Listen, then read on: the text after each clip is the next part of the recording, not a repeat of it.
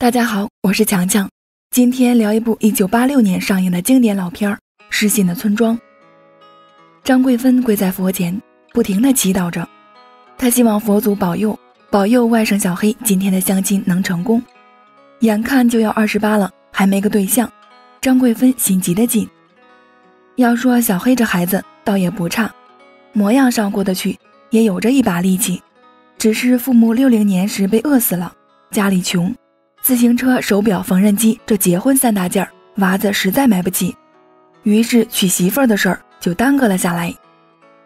看着虔诚的张桂芬，寺庙主持不受控制的流下了两行热泪。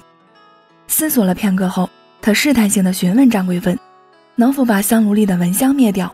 太辣眼睛了。”戴着大姨的手表，穿着借来的夹克，小黑自信满满的见了张桂芬给他介绍的相亲对象。交谈很愉快，愉快到两分钟就结束了。看着姑娘远去的背影，小黑心中泛起了嘀咕：这也没说错话呀，为啥一声不吭就走了？你和我妈同时掉河里，先救你不对吗？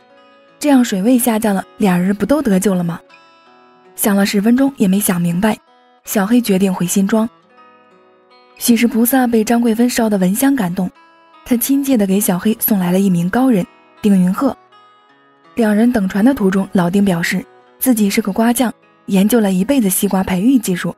前几年杂交出一新品种瓜，他出来找合适的种植场地。听人说新庄的土地不错，他想过去看看。小黑闻言兴奋不已，这真是君子不强，自自强不息。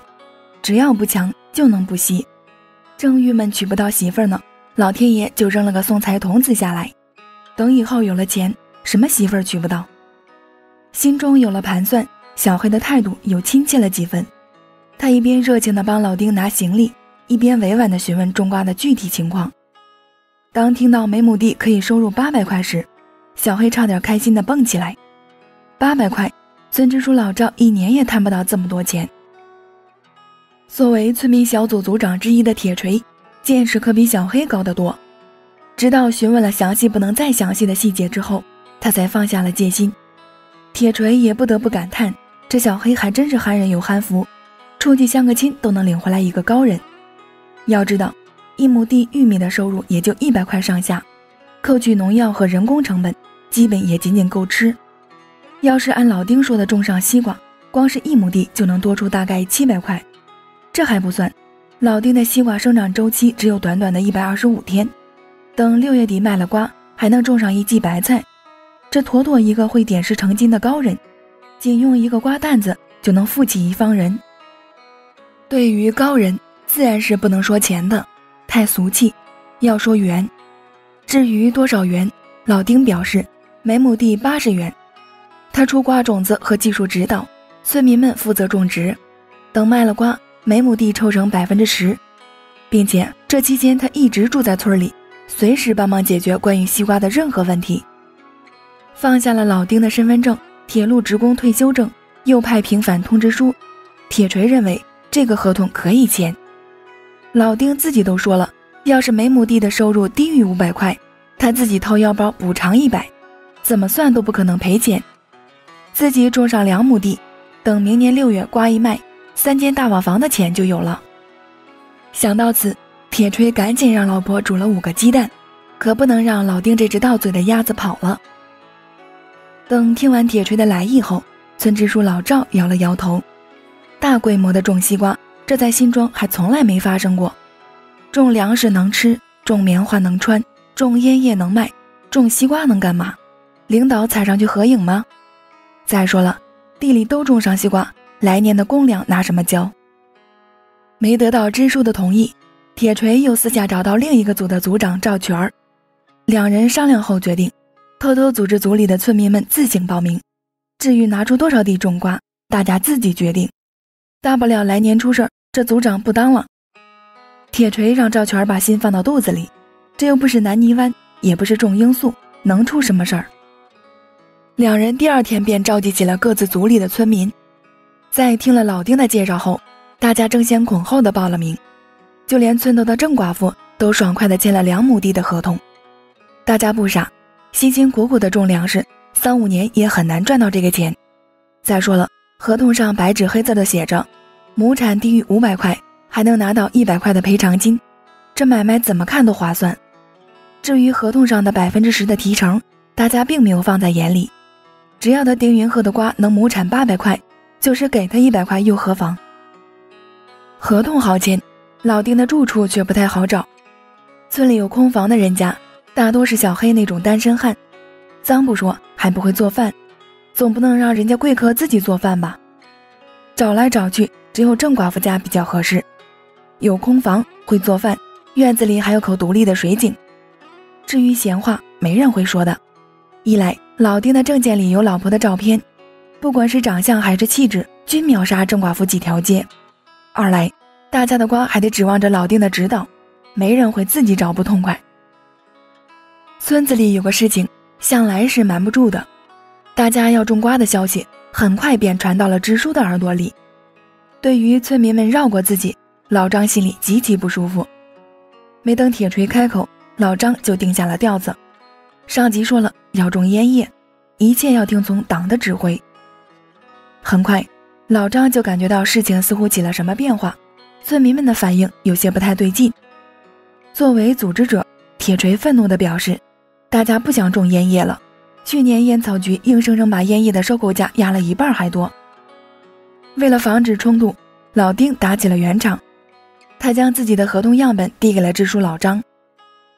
老张能当上村支书。除了党性坚定外，更重要的就是他能审时度势。仅仅过了半天，老张的傻儿子木圈便带回了话，自己家也要签两亩地的合同。至于烟叶，少种点，意思意思得了。有了村支书的加入，西瓜种植进行的极为顺利，顺利到那个两分钟的相亲对象都和小黑重新好了起来。有了盼头，大家的生活均充实了不少，就连说话也硬气了许多。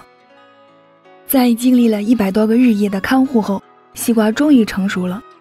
大家开心地拉着刚从地里摘下的瓜去县城卖，收获的喜悦洋溢在村民们的脸上。和种瓜一样，卖瓜也极为顺利。只要是新装的新品种瓜，果品收购站一律两毛一斤，照单全收。看着手里崭新的票子，村民们的嘴张得能塞下两只鸡蛋。大家从没想过能像今天这样扬眉吐气。毕竟几年前穷得连鞋带都买不起，如今卖几个西瓜蛋子就能赚到几千块。被金钱冲昏了头脑的铁锤，甚至跑到了供销社买了三件十六块五的衬衫炫个富。就连有着光明前途的售货员都被惊呆了。也不是每个人拿到钱后都很开心。正当铁锤琢磨着劝老丁来年搞个西瓜种植基地时，村支书老张却怎么也开心不起来。光自己两亩地的瓜就卖了两千一百四，签合同的村民大概四十多户，粗略算下来，丁云鹤的收入接近一万块。要说不眼红，那是不可能的。老张相信换成谁都会眼红，但作为支书，这点钱也不至于让他太过眼红。老张担心的是藏在一万块背后的东西。就说这种西瓜的事儿，里面和党的领导一毛钱关系都没有，恰好相反，没有了党的领导。大家瞬间就致了富。当村民们发现了这点时，谁能没个想法？村里的队伍以后怎么带？大家是听的张米贵的，还是丁云鹤的？当然，这些话肯定是不能摆在明面上说的。这件事肯定也是不能自己一个人干的。坏事嘛，就要大家一起干。你成全我，我成全你，到时候谁也别埋怨谁。自己帮村民们省了钱，村民们帮自己稳固了统治，皆大欢喜。思索间，老张便想好了对外说辞。为了更加符合政策，为了更加公平合理，对于老张的小算盘，铁锤是琢磨不到的。他只是一个劲儿的摇头。这合同白纸黑字儿，总不能耍无赖吧？况且老丁也说了，最贵两毛三，最便宜一毛五，一律按照一毛五抽成。现在反悔，谁张得了这口？见铁锤立场坚定。老张又转头忽悠起了赵全儿，相比铁锤，赵全儿就好说话多了。他只有一个顾虑，给丁云鹤上眼药，来年他不教大家种瓜怎么办？在得到支书一切包在我身上的答复后，赵全儿按照支书的意思，再次召集起了村民。大家的神情和卖瓜时并无多大差别。当听到可以少拿一半的抽成时，村民们纷纷表示，村支书这是为全村人谋福利。大家坚决拥护在以村支书张米贵同志为首的村委会周围，坚持九十九年不动摇。甚至有村民表示，丁云鹤太无良了，去年仅仅因为自己没签合同，就不教自己种西瓜。大家并不傻，喊口号是因为赖账时总要把锅甩出去。既然你天天要领导我们，那出了问题，锅肯定是你的。你要领导权，我们要利益，要钱，大家互相演演戏也挺好。新庄的团结此刻显现的淋漓尽致。和他们签合同，不是看合同上给你什么，而是看他们想给你什么。在村民们热烈的讨论中，只有铁锤一言不发。他要面对的不仅仅是一个支书赵米贵，而是村里的所有村民。铁锤呆呆地看着脚下的刘秀木，看着刘秀木前的那些石像生，不知在想什么。我想，铁锤如果读过几年书的话。此刻很大可能会想到这样一句话：“收天下之兵，居之咸阳，萧峰低，助以为今人十二，以弱天下之民。”经过简单的商议，在张米贵的领导下，大家制定了三步走策略：一、抽成减半；二、给丁云鹤扣个资本家的剥削帽子；三、抓丁云鹤和郑寡妇一个奸情在床。村民们也知道。说好的百分之十，突然单方面更改为百分之五，丁云鹤一定会有意见。但如果把后两条做实拿来要挟，问题就解决了，完全可以让丁云鹤给村里当几年免费的种瓜指导。喜悦再一次洋溢在村民们那扭曲的脸上，似狐狸，似狮子。大家也并没有觉得有何不妥。当初在城里下馆子都不给钱，如今几个破西瓜就要拿走几千块，没门儿。计划很周密，只是实施时出了差错。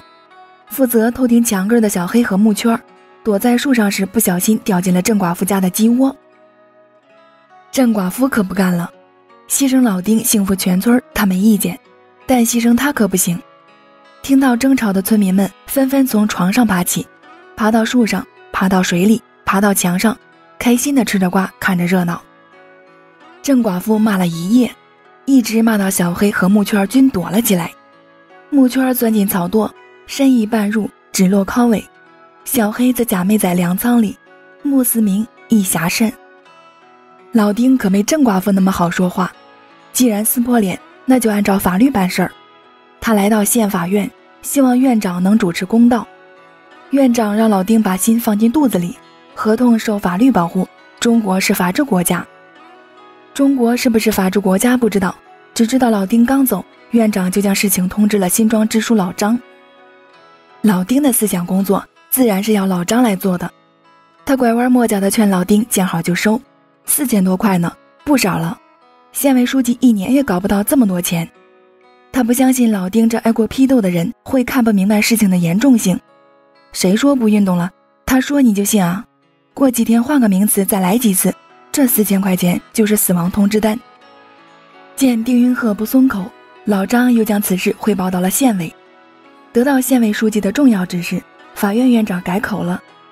他劝导老丁要辩证的看待问题，任何事情都有着两面性，你拿的少了，群众们自然就拿的多了。